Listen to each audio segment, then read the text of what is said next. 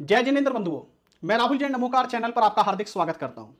दोस्तों, आज इस वीडियो के माध्यम से हम जानेंगे कुछ ऐसे लोगों की मानसिकता के बारे में, जो कोई अच्छा कार्य तो जीवन में कभी करते नहीं है, और यदि कोई व्यक्ति अच्छा कार्य कर रहा हो तो उसका उपहास बनाएँगे, उसे क्रिटिसाइज करेंगे, या कहीं ना कहीं उसे बदनाम करने का प्रयास करेंगे।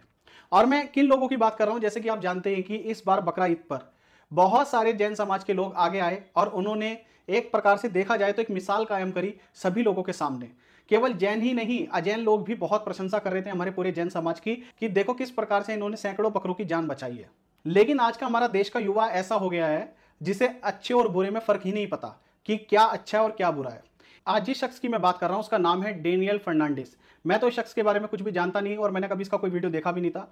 ये हमारे मित्र हैं सौरभ जैन सिक्का जी, जो जीव दया संस्थान के पदाधिकारी हैं। और साथ में हमारे अध्यक्ष हैं मनोज जैन जी, जो बहुत ही अच्छा कार्य कर रहे हैं। उनकी पूरी टीम बहुत अच्छा काम कर रही है। मैं हमेशा अपने नमोकार चैनल के माध्यम से एक ही बात कहता हूँ, और जो हमारा जैन धर्म बचाओ संगठन है, उसमें भी मैं हमेशा ये बात उठाता आया हूँ कि हमारे जैन समाज को ज़रूरत है अपने पैसे को सही दिशा में लगाने की। और इस बार ये अनूठी पहल करते हुए हमने देखा भी है।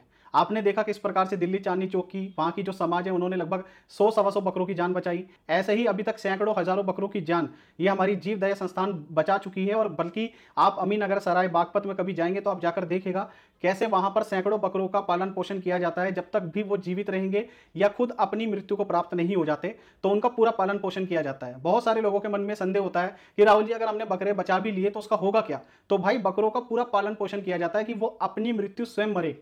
आपकी जानकारी के लिए ये भी बताना चाहूँगा। एक बार मुझे खुद भाई मनोज जैन जी ने बताया था कि राहुल जी, यदि कोई भी जीव अपनी मौत नहीं मरता है तो उसे नरक गति ही प्राप्त होती है। आप किसी और के कारण से हमें नरक गति प्राप्त हो तो ये भी कितना बड़ा पाप का बंद है। तो इसी वजह से मैं आप लोगों से यही कहना चाहता हूँ कि ऐसे लोगों का पूरी तरह से बहिष्कार होना चाहिए। ऐसे लोगों के लिए कड़े विरोध में आवाज़ उठनी चाहिए। ये डेनियल फर्नांडिस जैसे लोग जो सिर्फ़ अपना कंटेंट बनाने के लिए। अभी इससे पहले भी मैंने एक सूरज सिंह नाम के व्यक्ति का ज़िक्र किया था, कैसे वो यूट्यूब पर हमारे जैन मुनियों को दिखाकर उनका अपमान कर रहा था, अपना कंटेंट बना रहा था, जिससे उसे मतलब अच्छी टीआरपी मिल सके, उसके चैनल पर वीडियो पर बहुत सारे लाइक आ सके। तो भाई इतना भी मत गिरो वीडियो बनाने के लिए, आप ये नहीं कि कुछ भी करने लग जाओगे।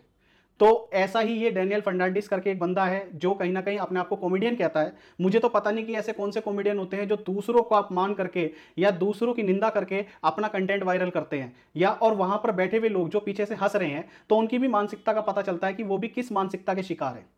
एक कहावत है ना कि जैसा खाए अन्न, वैसा होए मन। तो जो लोग सुबह शाम सिर्फ़ भक्षण करते हो, मांस का भक्षण करते हो, उन लोगों से आप अपेक्षा ही क्या रख सकते हो?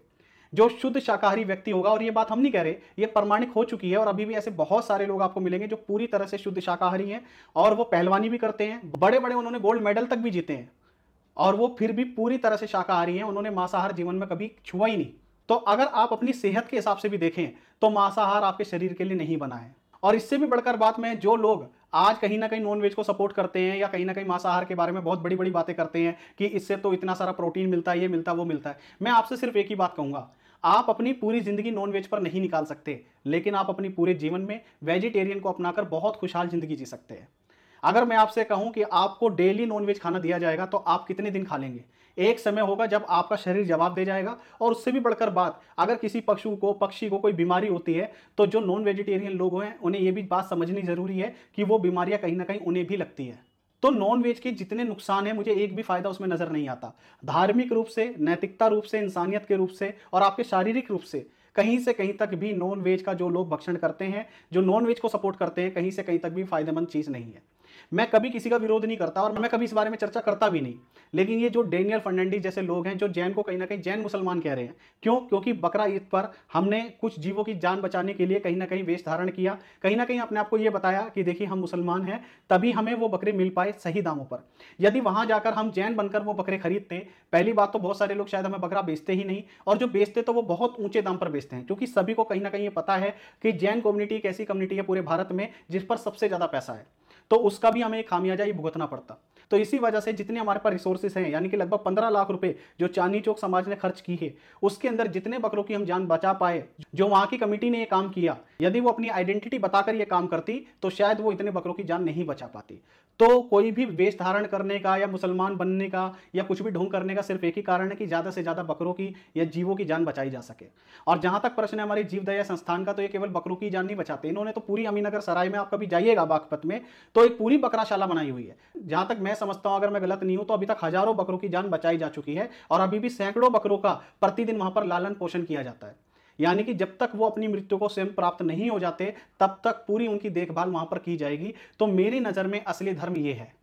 ठीक है, हम बहुत सारा पैसा मंदिर में, तीर्थ क्षेत्रों में डोनेट करते हैं, करना भी चाहिए, क्योंकि हम जैन हैं तो हमारा वो भी एक दायित्व बनता है, लेकिन इसके साथ साथ यदि हम अपनी कमाई की कुछ राशि इस अच्छे कार्य के लिए भी निकालें तो मुझे लगता है कि जो इससे पुण्य हमें प्राप्त होगा, या जिनेन्द्र भगवान को, जिन्हें भी खुश करने के लिए हम कोई भी कार्य करते हैं, उन्हें जितनी खुशी मिलेगी कि हाँ चलो भाई, ये एक दया से बड़ा उपकार कुछ नहीं होता जीवन में, इससे बड़ा परोपकार कोई नहीं है, और सबसे बड़ी बात है कि जितना पुण्य, मैं कहता हूँ, अगर आप सौ बार मंदिर जाते हैं, और वहीं पर आप किसी भी छोटी सी चीटी की भी जान बचाते हैं तो जितना पुण्य आपको चीटी की जान बचाने पर मिलेगा, शायद उतना पुण्य आपको सौ बार मंदिर जाने पर भी ना मिले। ऐसी मेरी थिंकिंग है, ऐसी मेरी सोच है। मैं ये नहीं कहता कि ये मैं जो कह रहा हूँ वो सही कह रहा हूँ। हो सकता है आप कुछ अलग तरह से सोचते हो, लेकिन फिर भी मेरा ये मानना है कि आप प्रतिदिन अपना ये नियम बनाए कि हम ऐसे कोई ना कोई अच्छे कार्य करेंगे। जैसे अभी गर्मी बहुत है तो आप पक्षियों को दाना डालने का कार्य करें, गाय को रोटी खिलाने का काम करें, गाय को, कुत्ते को, या जो भी आप ऐसे लोगों की या ऐसे मतलब जानवरों की मदद कर सके जिनकी मदद के लिए कोई आगे नहीं आ रहा। देखिए, असली पुण्य वहीं पर मिलता है। ऐसी जगह पर हम, अक्सर हम लोगों की सबसे बड़ी गलती क्या होती है? हम ऐसी जगह डोनेट करते हैं, ऐसी जगह दान देते हैं, जहाँ पर पहले से ही बहुत सारे लोग लाइन में खड़े हैं दान देने के लिए। मैं यहाँ पर किसी का नाम नहीं ले रहा, लेकिन आप खुद समझदार हैं। भूखे को रोटी कोई नहीं खिलाता, जिसका पेट पहले से भरा है, हम उसके पेट में रोटी ठूसने को तैयार रहते हैं। लेकिन मैं आपसे सिर्फ़ यही बताना चाहूँगा कि ऐसी जगह पर दान देने का कोई अभिप्राय नहीं है, कोई औचित्य नहीं है। असली दान वहीं पर लगता है जहाँ पर सही में उसकी ज़रूरत हो जिसको। जब भी आप कहीं जाते हैं तो बहुत सारे आपको रास्ते में भिखारी मिलते हैं। मैं क्या करता हूँ? मैं आपको अपने जीवन के कुछ आपको थोड़े से कार्य बता देता हूँ। मैं जब भी घर से निकलता हूँ, या तो मैं थोड़े से बिस्कुट वगैरह के पैकेट अपने बैग में डाल लेता हूँ, या घर में रोटियाँ बनी होती हैं तो वो रख लेता हूँ अपने साथ। तो जो भी मुझे रास्ते में मिलता चलता है, कोई चाहे मांगने वाला हो, चाहे कोई गाय दिख जाए, चाहे कोई कुत्ता दिख जाए, जिसे भी मुझे लगता है उसे भूख है, उसे ज़रूरत है। तो देखो, अगर कोई व्यक्ति भीख माँगता है सही मायनों में तो मेरा मानना यह है कि वो अपना पेट भरने के लिए भीख मांग रहा है। ऐसे बहुत सारे नकली भिखारी भी आपको मिलेंगे जो सिर्फ़ पैसे के लिए भीख मांगते हैं। तो ऐसे भिखारियों को ना तो मैं सपोर्ट करता हूँ, ना ही मैं कभी उन्हें एक रुपया देता हूँ। मैं हमेशा उन लोगों की मदद करता हूँ जो पेट से भूखे हों, कि एक भूख ही है इंसान की जो कुछ भी करने पर इंसान को मजबूर कर देती है। तो आप, जब भी आप अगर घर से भी कुछ ना लेकर जा पाए तो आसपास के किसी रेस्टोरेंट में कोई रेडी वाला, ठेली वाला कोई भी आपको दिखता है तो वहाँ पर पचास सौ रुपए देकर आप किसी भी व्यक्ति का पेट भरवाने का ज़रूर प्रयास करें। तो ये एक पहला अच्छा कार्य है। और इसमें आपको अपनी जेब से कोई मदद नहीं करनी। मैंने आपसे बताया, मैं क्या करता हूँ, मैं भले ही आज के समय में अगर दस लाख रुपए महीने के कमाता हूँ तो मैंने सीधा से एक उसूल बनाया हुआ कि अपनी कमाई का पाँच से दस परसेंट मुझे अच्छे कार्यों में खर्च करना है। अब वो अच्छा कार्य कोई भी हो सकता है। आपकी भले इनकम एक लाख की हो, दस हज़ार की हो या एक करोड़ की हो। आप अपने हिसाब से, भले आप, अगर आपको लगता है कि नहीं भाई मेरी इनकम बहुत ज़्यादा है और मैं पाँच दस परसेंट नहीं निकाल सकता तो आप दो परसेंट से शुरुआत करें, एक परसेंट से शुरुआत करें, लेकिन शुरुआत आज से ही करें।